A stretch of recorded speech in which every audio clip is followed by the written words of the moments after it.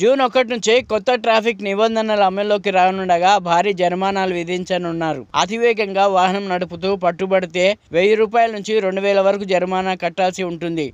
Licence లేకుండా వాహనం నడిపితే ఐదు వందల జరిమానా వేస్తారు. మైనర్ వాహనం నడిపితే ఇరవై ఐదు వేలు ఫైన్ వేస్తారు.